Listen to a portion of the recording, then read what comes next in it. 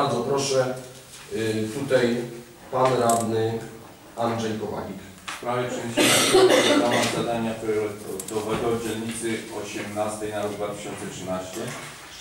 Zadania priorytetowego pod nazwą wniosek nr 59 Klub Sportowy Błyskawica Wysiąż remont instalacji wodno-kanalizacyjnej przenosi się środki w wysokości 1300 zł zakup usług remontowych na zakup materiałów i wyposażenia.